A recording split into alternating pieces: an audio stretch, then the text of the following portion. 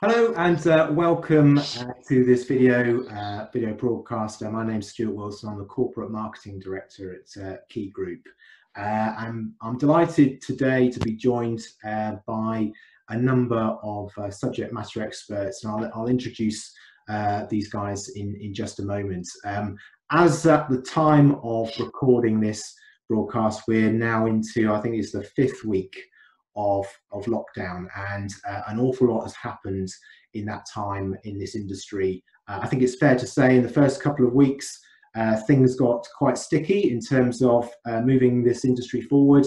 There was not really a clear route through. Uh, in one foul swoop, lockdown kind of took away the three uh, legs of the stool, if you like, um, advice, which is predominantly, not exclusively, but predominantly done face to face, could no longer happen face to face valuations, which requires a valuer to go and uh, physically walk around somebody's property, that can no longer happen. And legal advice, which is legally mandated uh, to be, uh, uh there's, a, there's a process of face-to-face legal advice and the, the requirement of a mortgage deed to be signed, uh, meant that um, in one foul swoop, this industry uh, could could no longer move forward. But I've been working in financial services long enough to know that this industry uh, uh, always manages to find a way through and very quickly, I would say, managed to find a, route through, uh, whether it's remote telephone based advice uh, or video based advice, which obviously uh, advisors are doing now, but also on the valuation side and the legal process side,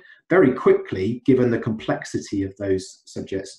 Uh, this industry has managed to find a way through, and it's those latter parts that I wanted to talk about uh, today. So I'm really delighted to have some people who are far uh, better qualified than I to talk about those particular subjects. So I'd like to quickly introduce the, the people that you're seeing on your, your screen today. So we've got, we've got representatives from our valuation partners, uh, e.surv, and also from Equilaw, one of the uh, most preeminent um, uh, expert legal firms in this market. Um, so we've got um, uh, we've got from uh, from Equilaw, we've got uh, um, Claire Barker. Uh, welcome, Claire, uh, Managing Director. Um, and also, it's great to have you along today because I know that uh, you sit on the, the Equity Release Council's standard board. So um, I've got some uh, some points to put to you. I'm sure uh, our advisor audience would uh, would love to hear more about. We've also got um, Elsa Roberts. Wel welcome, Elsa, who's Operations Director at, uh, at Equilaw. Um, and from uh, and from e.surv, um, we've got Leon Coles, who's the Regional Operations Director, and Mark Goodfellow, who's the Product Lead at, at e.surv. So welcome to Leon and welcome to Mark as well. Thank you all for joining me this afternoon and we'll uh, we've got a number of questions um, uh, that I put together I think uh, as we've been talking to advisors over the last couple of weeks, and I've been on video conference calls with some of the big specialist firms uh, over the last uh, five to 10 days. And a lot of questions that they're putting to us actually do center around uh, these issues of valuations and the legal process. Um, advisors are very, very keen to get more insight into, into this uh, into this new way of working, this new remote way of working.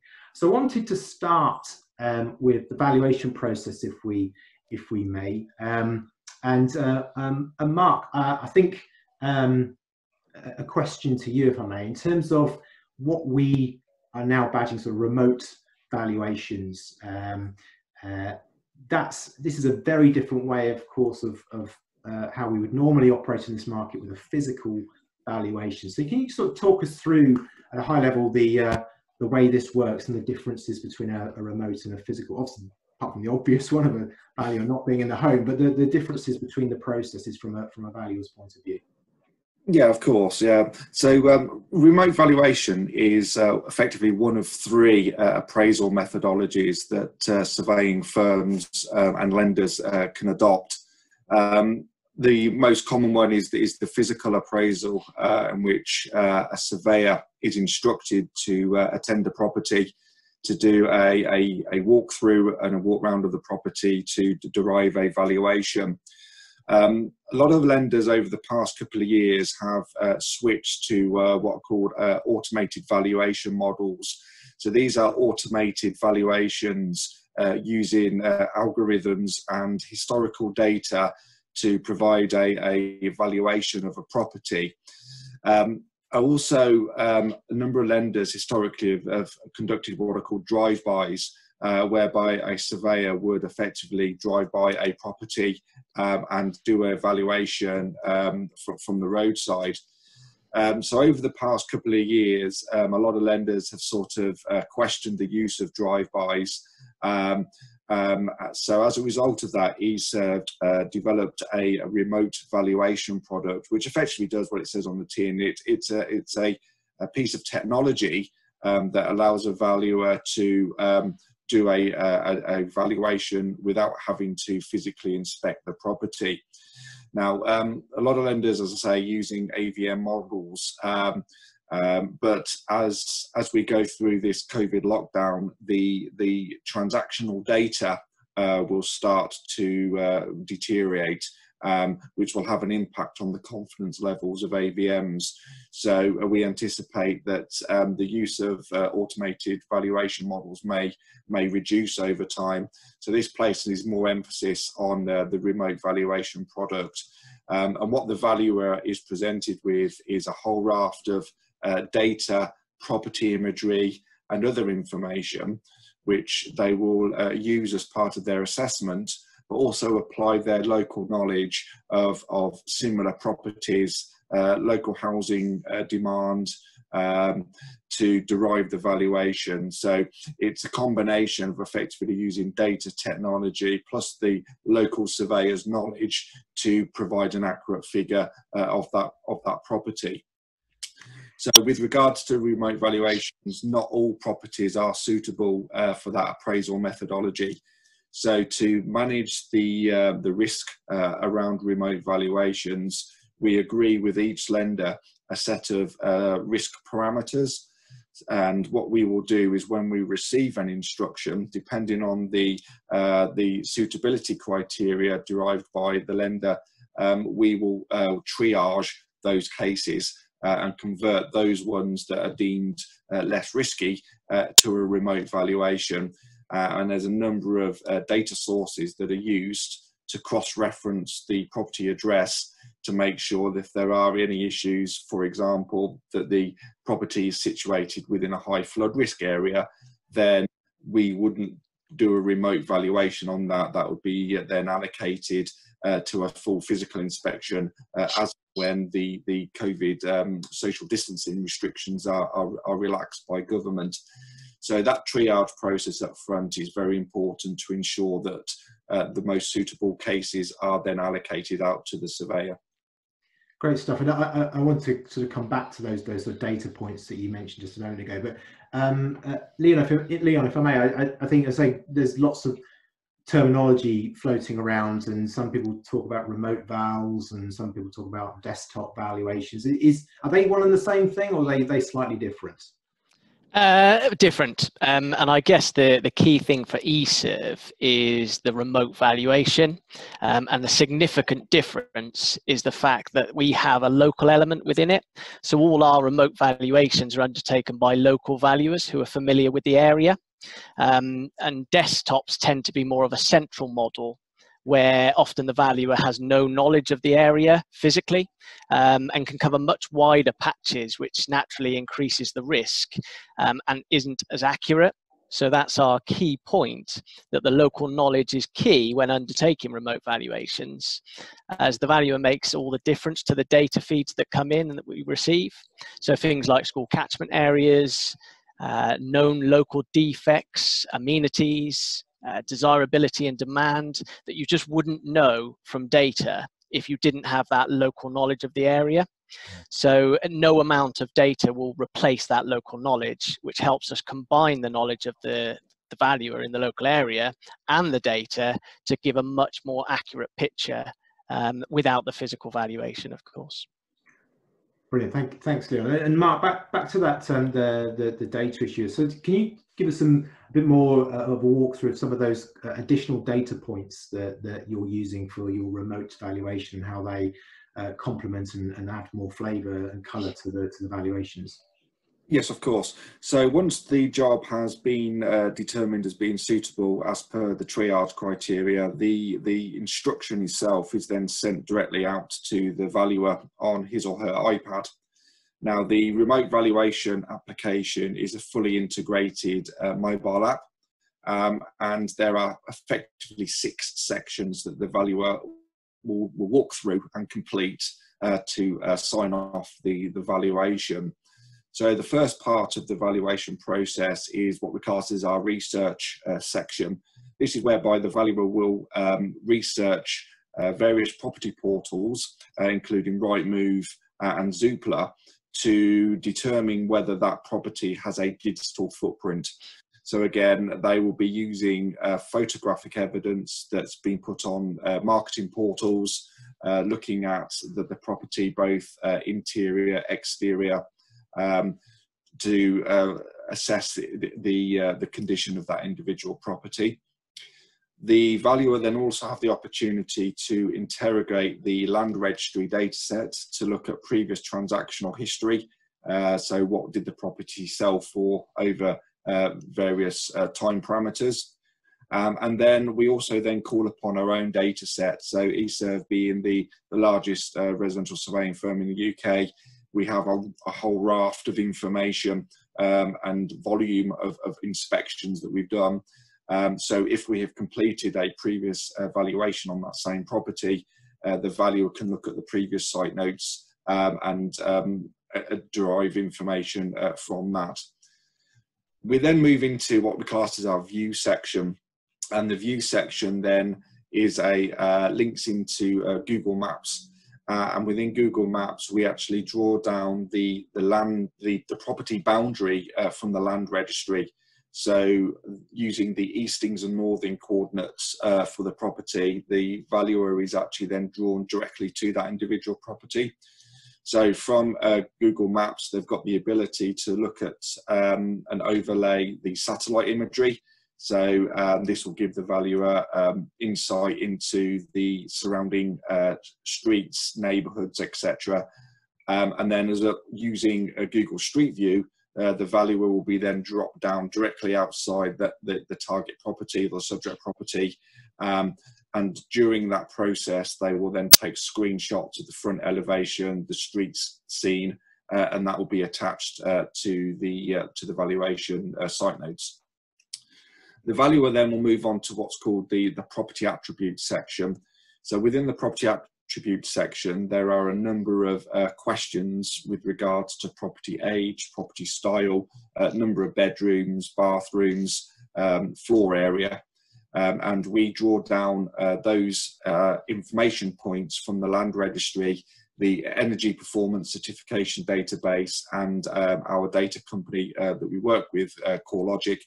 Um, those are then presented back to the valuer and the valuer will then um, record their own assumptions based on their own research uh, of the property and, and local knowledge. Uh, we also have um, two uh, inbuilt uh, links within the iPad application. One is out to um, the BCIS calculator so that should a lender require the reinstatement costs based on uh, the assumed floor area, uh, that can be provided. Um, and then the final um, data source that we call upon, which is the um, comparable evidence linking directly into the surveyor comparable tool. Um, and now the SCT report is an industry-wide um, data source that surveyors use to identify uh, similar properties uh, and provide the comparable evidence and their rationale for their valuation.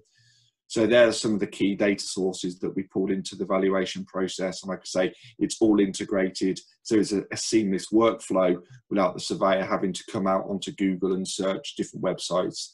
Um, so that's the, some of the key, key data sources that the valuer will use.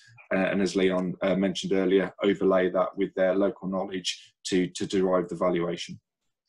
That's great. Thanks, thanks, Mark. And, and, and Leon, a, couple of questions for you, really. I think um, in terms of that process, is what's just been described there, quite a, quite a detailed level of, uh, of, of, data insight and overlaid with local knowledge. So is, is this something that, that is, is elongating the process? Does it take longer for a valuer to go through a, a remote evaluation and also um, uh, what's, what goes on in the background in terms of any uh, kind of auditing of that to ensure that the, the valuation is as accurate as it can be when it's passed on to the, to the lender?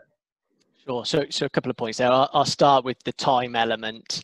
Um, it, it's very similar. So at the moment, we're saving the time in actually traveling to the property and inspecting physically, but we are uh, doing a lot more detailed analysis investigatory work with the data feeds that we've got um, to kind of replace that. So the time element is very similar and the the SCT that Mark talked about, so the sales comparison tool that we use with Rightmove, has always been a key element and takes a good chunk of the time anyway. And that process is exactly the same. So we still go into Rightmove and look for sales um, comparison data that will allow us to justify the valuation. Uh, that process is exactly the same. So I guess the simple answer is it's taking very, very similar amount of time um, our big saving is, you know, we're not caught up in traffic, we're not out on the road, um, and then there's lots of nuances within that that can obviously add delays to the process. Um, so that that probably answers the time element. Um, and obviously, we clearly state any limitations within the report. So if we are now obviously doing remote valuations as opposed to physicals, we're just caveating that with a, a paragraph to say that obviously due to COVID-19, um, this has been undertaken via a remote valuation as opposed to a physical. Um, and, I, and I suppose the main things that are different there is we're not able to spot Japanese knotweed unless it's clear from uh, from Google. Uh, very obvious, but um, it's those sort of things that we perhaps haven't been able to factor in. But pretty much else, everything else is is there from the data that we have. Um, moving on to audits. So in normal BAU scenario, we would do a lot of audit anyway. We've kind of ramped that up. Um, and one of our key areas of strengths is our real-time audit process. So where we actually audit before the report is sent out, so it's captured beforehand, um, and it's not an after-event process where it's kind of too late. So we've always done that, and we've continued to do that, and we've massively ramped up the amount that we're doing. Um, and we do that based on key triggers and key risks. And if, for example, we put a new process in place, so say, for example, More2Life, we change your guidance or you change your guidance and we need to implement something, we will, we will ramp up the number of audits that we do for that particular area to make sure that that has been, uh, you know, heard loud and clear in the field and, and the, and the valuers are actually uh, adhering to those processes, which helps us limit those risks. So that kind of is no different. Um, we've just ramped it up. The other areas, again, that we, we do is a manager dip check. So managers are continuing to dip check work to ensure that there's coaching in the moment, um, and we're coaching where we we see perhaps some something that's been missed, or perhaps they they've tried to upgrade it, and we can find a digital footprint that they haven't perhaps managed to look at everything that we we've been able to find something. Um, and during this period, the big difference is any upgrade now we're asking managers to agree those upgrades before we go ahead with them so that you know in in all cases where possible we are able to do the valuation via remote and um, you know that's just the sort of things we're putting in at the moment um, but we're constantly developing and constantly changing that to to ensure we are as accurate as possible great stuff and I, I, we're only a, I suppose a couple of weeks now really into uh, mobilizing that. Um, uh, and Life was the first volume lender, uh, along with with e.surv, to sort of begin that process of uh, doing these uh, uh, remote valuations on mass. So, is there any any unexpected things that have come out of that process? Any quirks you know, compared to what we would normally see on a physical val, or is it broadly broadly the same? I, I, guess the key benefit for us is, although this is new for More2Life, um, and we would have ordinarily done a physical. Uh, we've been doing remote valuations now for about two and a half years, uh, probably over that now, come to think about it. Um, and a lot of those initial teething issues you get with any new uh, product or innovation, uh, we've, we've already overcome. So the only challenge, I suppose, or slight hurdle is that because you didn't have a remote valuation process already yourselves, mm. we're having to adapt the mortgage valuation form to fit the remote valuation terms. So it, it's a very minor thing that eventually we'll be able to solve via our IT partner. Um, but that's probably the only hurdle that slows us down a little bit. Um, and once we overcome that in coming weeks, depending on how long uh, the lockdown progresses, um, you know that will that will save us time and, and also help with accuracy because we can automatically map some of those things that perhaps at the moment we're having to manually go in and enter um, based on the guidance that we've received. Uh, but again, like I say, it's a, it's a very minor point. The, the only other thing that we, we are seeing is some cases without a digital footprint. And again, coming back to that point around how long this lasts, we're, we're, constantly looking at the moment in the background around what we can do to innovate, what we could actually do to overcome that if this perhaps goes on for longer than we we would like it to so there's always options uh, and all we've got to do is just uh, you know sit down with yourselves and and work out what those options are and agree on the risks and appetite as to whether we go down that route so n- nothing really is not able to be solved um, it's just about putting that process in place. So to reassure you, if things do progress and you know we're we're, we're not eased at all, um, then there are solutions that we can look at as well. Well, uh, Leon, I want to congratulate you on the timing of your answer because we lost Mark briefly, just as you were coming to the end of your question, uh, Mark's reappeared. So uh, yes, apologies, internet crash.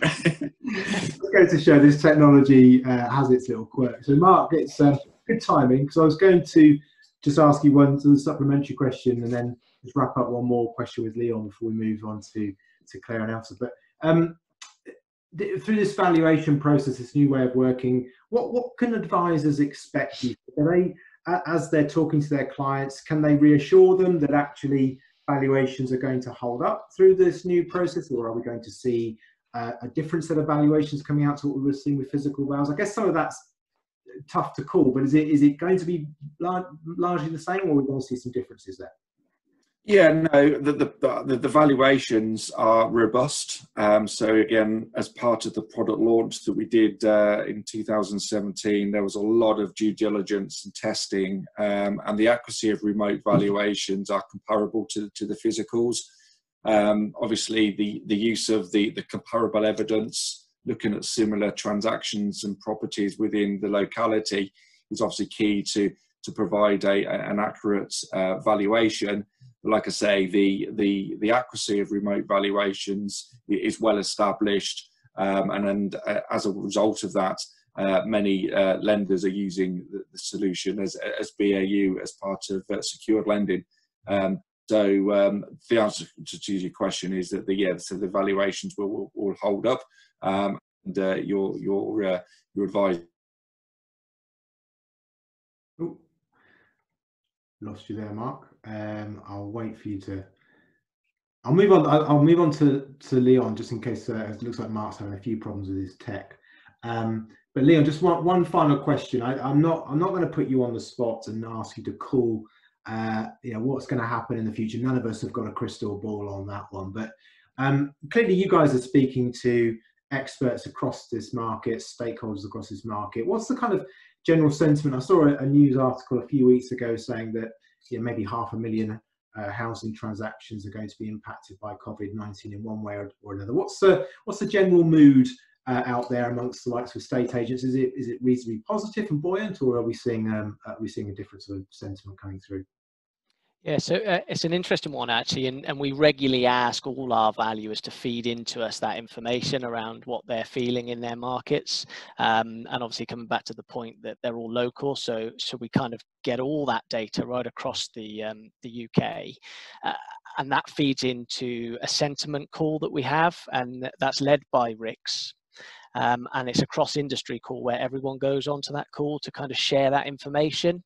Um, and although you know it is only anecdotal feedback at the moment, and there's there's nothing hard or concrete, it's been relatively positive.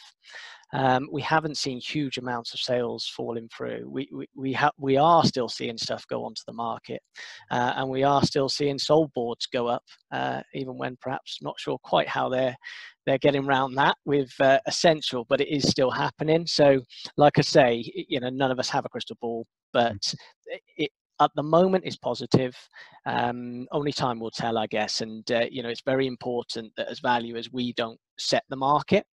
Uh, we don't set the market or make the market. We just follow it and you know we we will start to see evidence um, and if we do see any signs of any change then then then we will let you know but uh, at the moment um, i think it's positive uh, and I guess it all depends on how long the lockdown goes for, and um, you know what then impact that has on employment and and various other factors. So that's probably a bit of a summary for you. I know it probably doesn't give you that crystal ball uh, gazing that perhaps we all want, but uh, it gives you a sign of things are reasonably positive at the moment.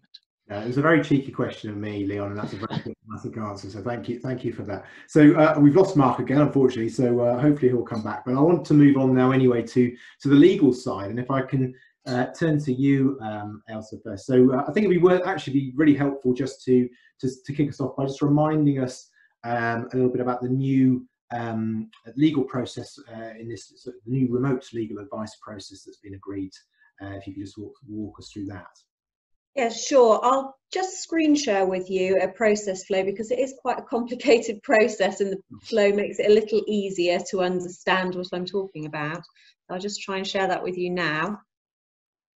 Do you have that there? You do, yeah, that's great. Excellent. So just a quick recap on the standard process. We're instructed, we gather information with the client before we get an offer from to Life. Then when we have the offer, we process that offer, we will report to the client about the product, we will send all of the various legal documentation that the client needs to execute to the client and our solicitor, we have a fleet of mobile solicitors, one of them will attend the client's premises to execute the documentation, to verify the client's identity. And whilst they're there to undertake a capacity assessment and a duress assessment, which are that's Rule 8.4 of the Equity Release Council guidelines.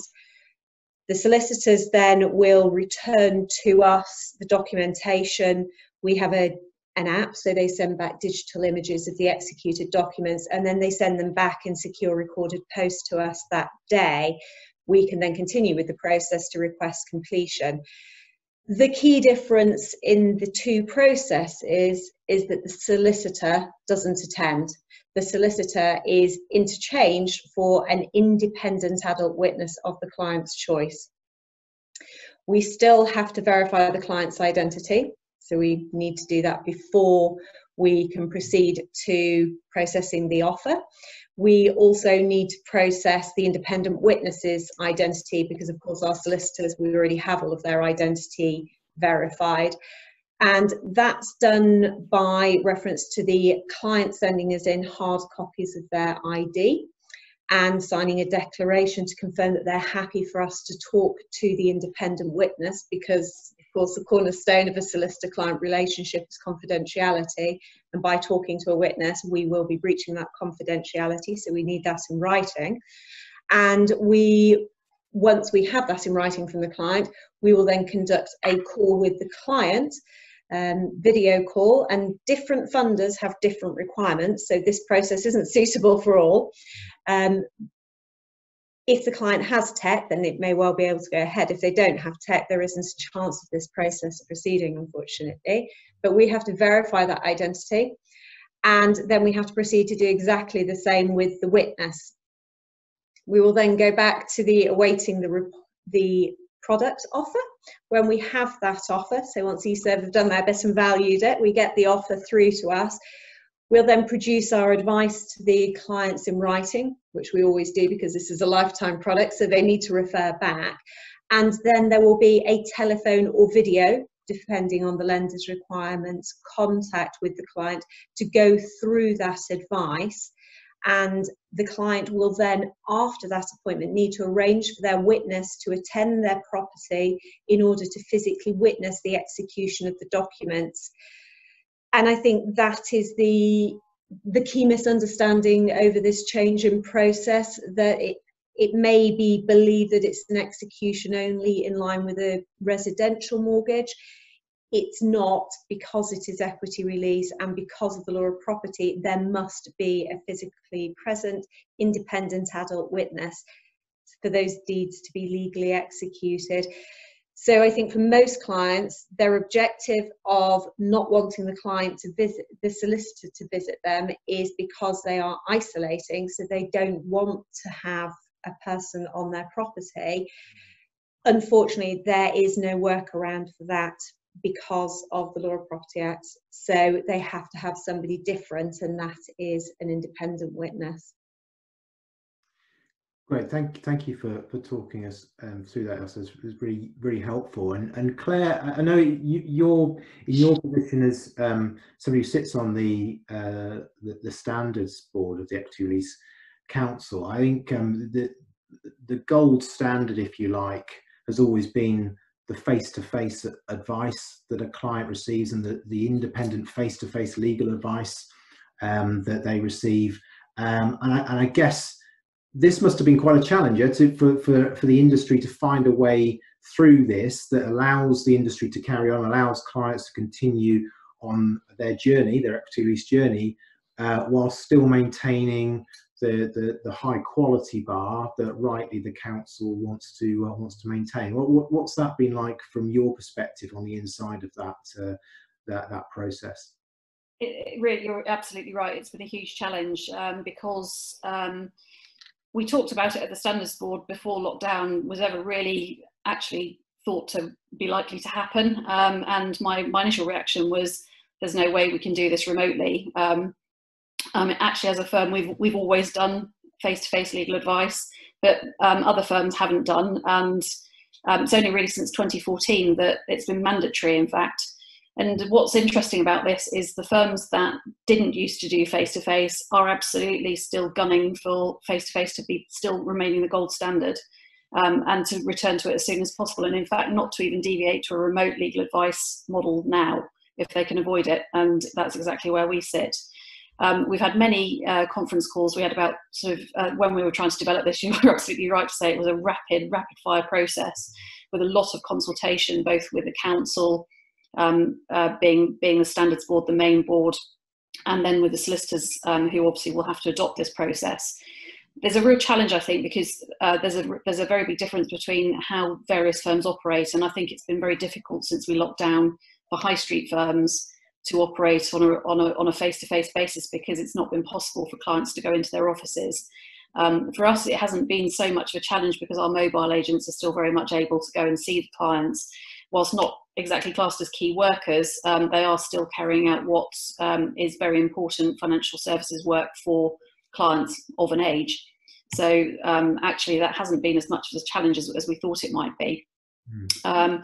but in terms of um, returning to gold standard, I think that's absolutely paramount um, for the reasons that Elsa's outlined. there are a number of hurdles within this process and deliberately so. Um, and one of one of the major challenges for us was, you know, things like why are you asking for um, ID for the witness, for example, which isn't actually a legal requirement.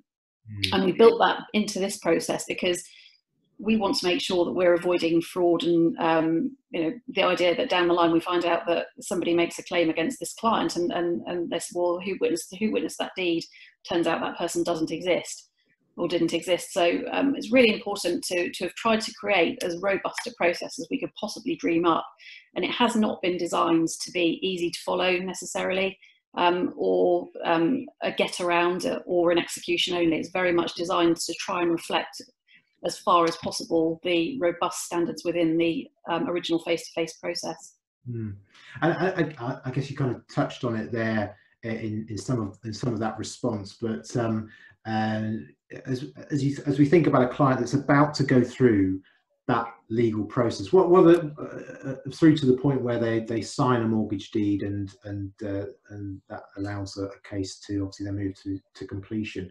Yeah, what what are the key uh, issues that are being faced? What what what are the sort of concerns that are coming through from from clients? Is it, is it the the, the fact they've still got to have somebody coming into uh, onto their property, the signature of the deed. What, what are the sort of concerns that are coming through on that? I think there is a concern before we've had a full conversation with the clients about somebody coming to witness the deed. But we moved to um, a, a, contactless solicitor I think it would probably be towards the end of February when COVID started to gain a pace and we could see what was happening happening in China and then rolling through to Italy. We started to adapt and adopt social distancing straight away given our demographic of clients. And when we we explain to clients exactly how we foresee this working, so we've altered our sort of gold standard in terms of we're making sure there is advice on the telephone beforehand and then the solicitor attends. They do that at a, an appropriate social distance. They've been very resourceful. A lot of our solicitors have been doing appointments in gardens, etc. They're using full PPE because we managed to obtain that before the current PPE crisis happened. Um, and all of them are providing weekly risk assessments to confirm they've not been any in any contact to ensure that they are as least culpable of contributing towards the spread of this disease as uh, this pandemic as they can be.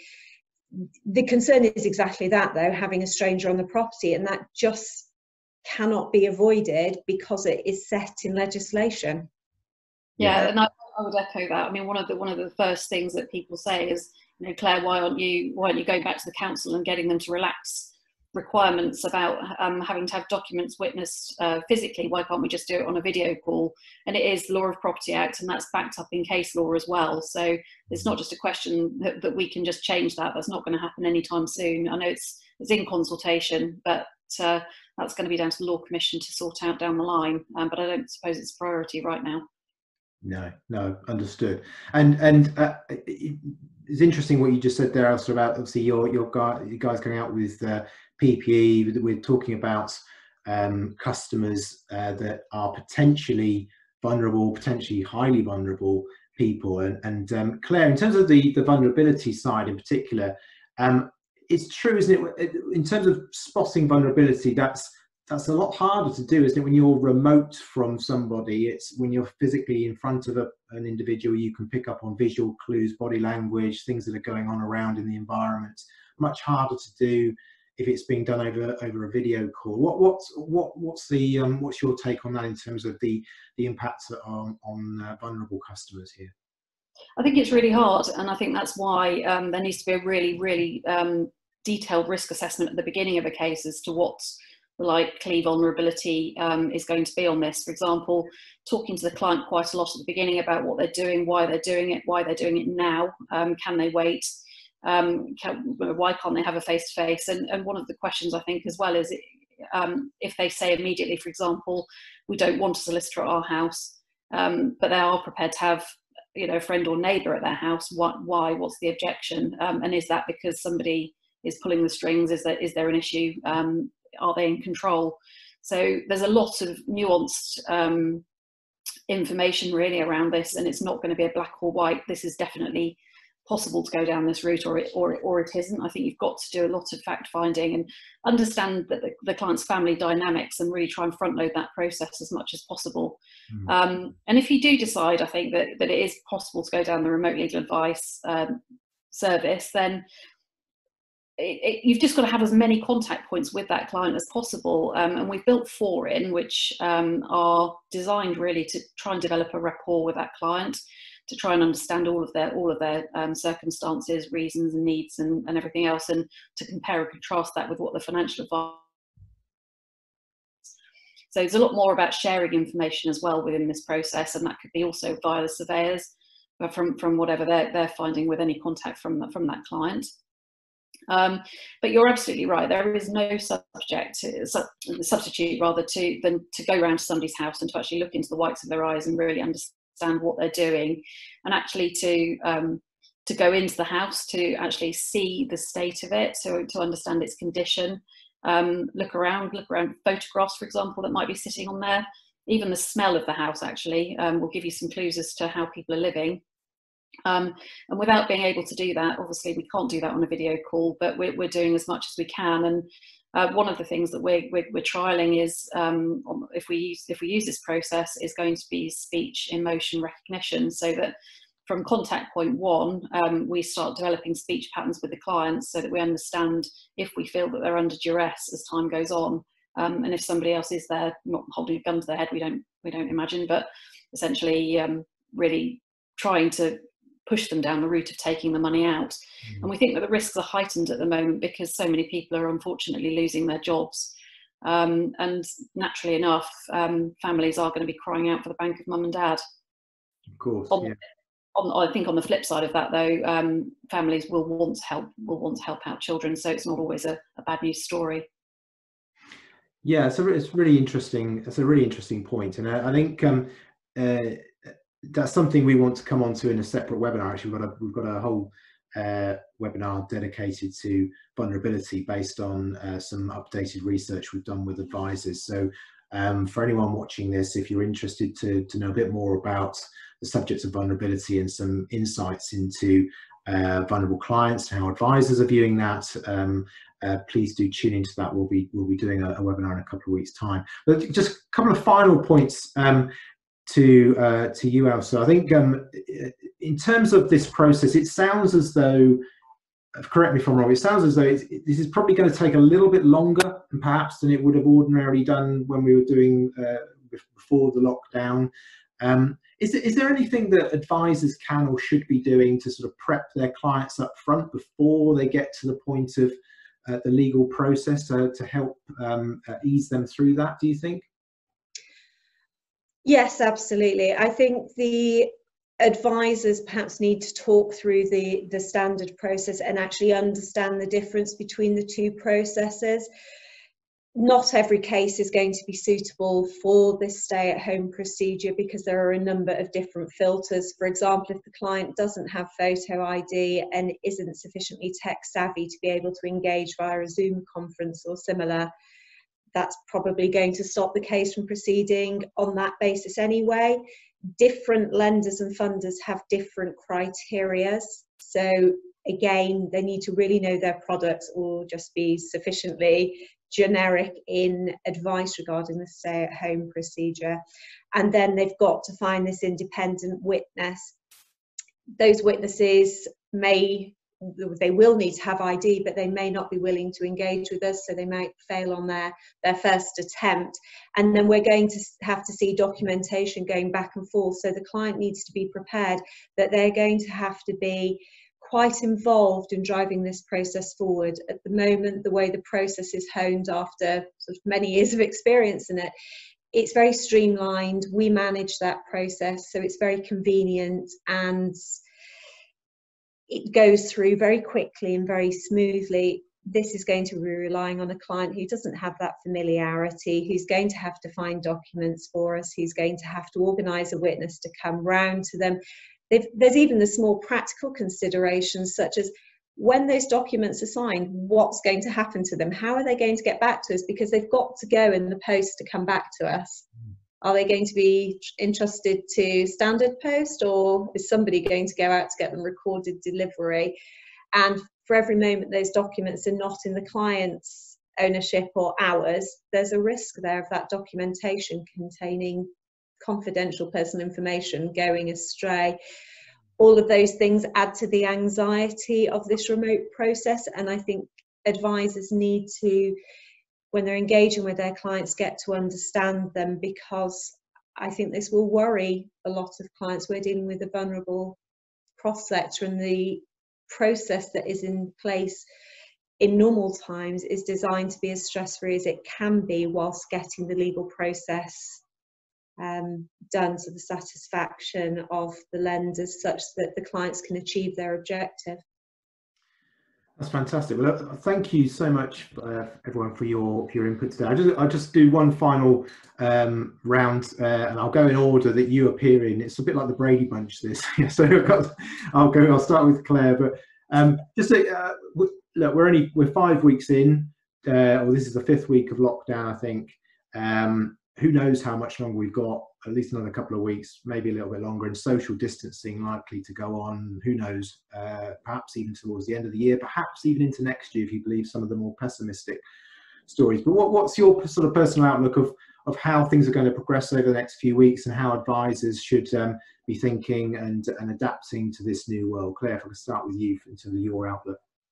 Yeah, um, I, well, the, the reasons that people are going to do equity release and the need for that equity release product hasn't changed.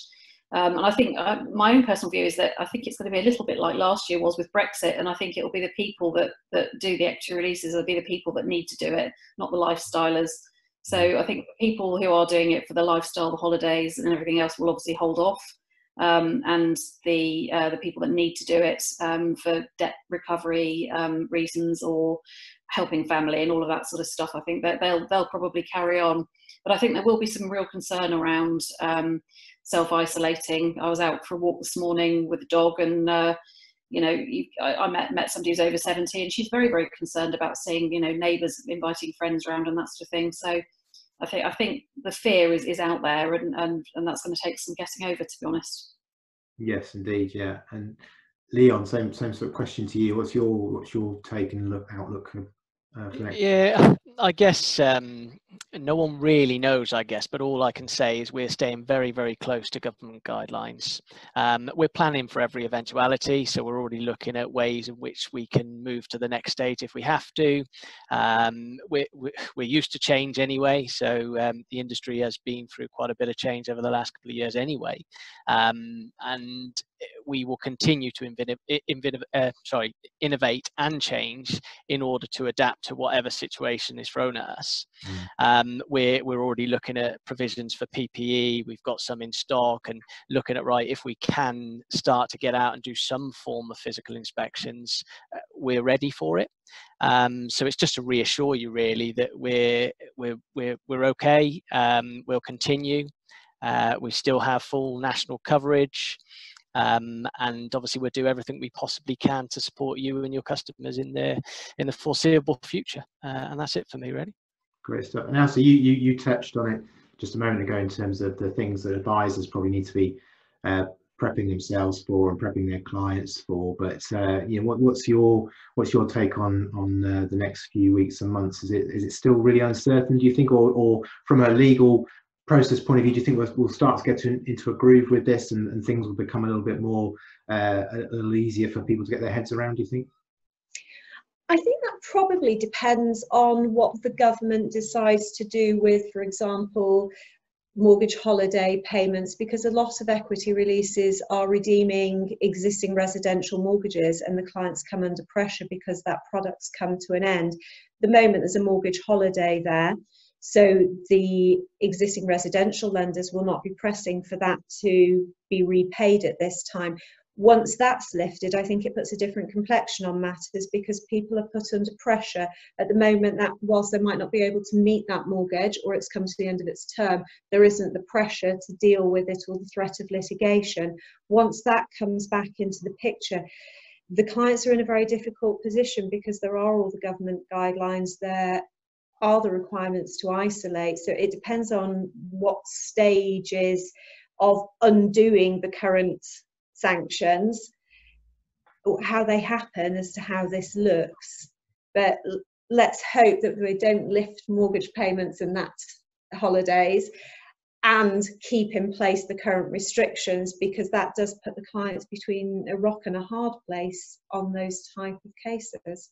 Mm. And you know, we want to help clients, we want to help them achieve their objectives quickly and safely, both physically and from data safety. Yeah, absolutely, absolutely. And Mark, sorry, we we lost you again a little bit earlier. Uh, you're back with us again. I am. Um, Apologies. I'll, I'll, come to you finally, just as a final sort of view from yourself and uh, uh, how you you'll sort of out your outlook for the next few weeks and months as we move through this crisis. Yeah, as we move uh, into the, uh, the equity release market, uh, this is a, a, sort of a new area for, for a lot of us. Um, so I'd be very keen to encourage your advisors to share any uh, examples of, of good practice that may be working, uh, issues or challenges or things that aren't working, so that they can share and we can look to adapt and innovate to try and uh, improve the process for all parties involved. Fantastic. Well, listen, guys, I, I, really do appreciate your time this afternoon. Thank you so much for joining me, Claire and Leon and Elsa and Mark. Really, uh, that was a great chat and some really good insight there and uh, walking us through those those various processes that we're all you know gradually getting our gradually getting our heads around and and, and working out how, all this fits together. So thank you for your time. Uh, and thank you for, for watching today. Um, as I said, we are running lots of uh, webinar content, new webinar content over the course of the next few weeks, including that uh, presentation on vulnerability that I mentioned. Um, so watch out uh, for, your, for information and news on that in your inboxes, and you can find information on our website as well. But uh, for now, thank you very much for joining us, and we'll catch you on the on the next program. Thank you very much.